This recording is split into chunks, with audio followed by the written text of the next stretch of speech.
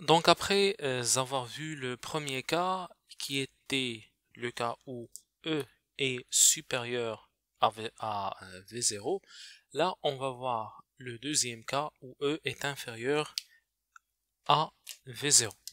Donc on a, on a d'abord notre équation de Schrödinger à une dimension qui est d2 sur dx carré de phi de x à une dimension indépendante du temps plus 2m sur h bar au carré e moins v de x mais ici j'ai v0 ou 0 donc je vais écrire v0 phi de x égale à 0 donc pour ce qui concerne la région 1.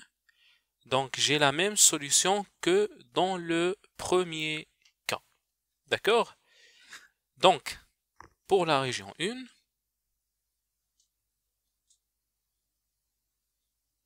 on a v de x égale à 0. L'équation de Schrödinger est la suivante.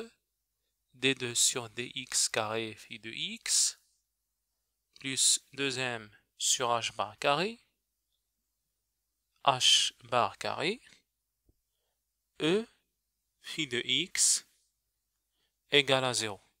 Donc ici la solution est phi de x. On va poser toujours bon, ce, cette quantité-là, 1 au carré. Donc phi de x c'est a exponentielle i k1x plus b exponentielle moins i k1x. Donc vous voyez, c'est la même solution. Maintenant, pour la région 2, eh bien pour la région 2, v de x égale à v0, notre équation est la suivante, d2 sur dx carré, v de x plus deuxième sur h bar au carré e moins v0 phi de x égale à 0. Ici, voyez-vous bien que dans ce deuxième cas, e est inférieur à 0, donc cette quantité, elle est négative. D'accord? Donc ici, j'ai pas pour l'instant la forme, donc je rappelle que si vous avez cette forme de euh, d2 sur dx carré de f de x plus k, bon une certaine constante k carré f de x égale à 0, et eh bien la solution ici de cette équation est de la forme, bon, par exemple, une constante a exponentielle i kx plus b exponentielle moins ikx. Ici, comme vous voyez, je peux pas, ça, cette quantité-là, elle est négative. Donc, je peux pas, par exemple, poser une certaine constante k égale à racine de 2m sur h bar au carré de moins v0. Je n'ai pas le droit parce que ça, c'est négatif. Donc c'est pour cette raison, ce que je vais faire, je vais ici ajouter un signe moins faire V0 moins E. Et ce moins-là, c'est, je vais le transformer en I au carré. Et je vais maintenant faire tout cela racine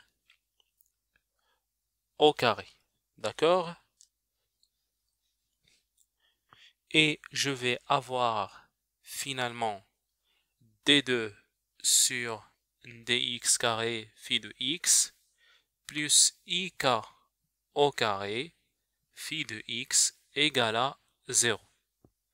Vous voyez Donc, avec le cas égal à racine carrée de 2m sur h bar au carré v0 moins e.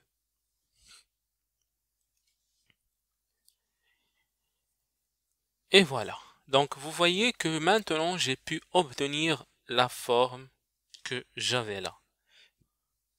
Donc dans ce cas-là, la solution est de la forme. Donc phi de 2x, donc 2 pour la région 2. bon, j'ai déjà utilisé a et b, donc là je vais mettre c. Donc j'ai c exponentiel. Donc ici, je vais, bon, je vais utiliser i. On peut écrire directement parce que dans ce cas, les solutions sont réelles, mais je vais juste vous montrer une chose. Donc j'ai i, mais puisque ici la constante que j'ai c'est ik, eh bien je vais avoir ici ik, d'accord, x plus d exponentielle moins i, euh, ik, x. Donc pour avoir c exponentielle moins kx plus d exponentielle euh, kx. Donc voilà, c'est ce qu'on a. Donc ici, vous voyez, on a cette solution. Ce terme n'a aucun sens physique. Donc on ne peut pas avoir une onde euh, qui, euh, on ne peut pas avoir un flux qui va se propager indéfiniment, qui ne s'arrête jamais, parce que ici, donc ça, ça n'a aucun sens physique. Donc on va dire que exponentielle quand x tend vers l'infini, quand x tend vers l'infini, donc d égale à 0. D'accord? Donc finalement, euh, phi, de, x, c'est c exponentielle moins x. Et comme vous voyez, ça appartient à R. D'accord? Donc c'est un réel. Et en réalité, c'est pas une onde après un certain moment, ça s'arrête de façon exponentielle. Donc phi de 2x est exponentielle moins kx, on a ici une onde évanescente, c'est-à-dire après, il va s'évanouir.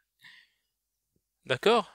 Donc l'onde qui vient, l'onde incidente, cette partie-là, a exponentielle ik1x, une partie se réfléchit qui est b exponentielle moins ik1x, et une partie est transmise. Bon, cette partie,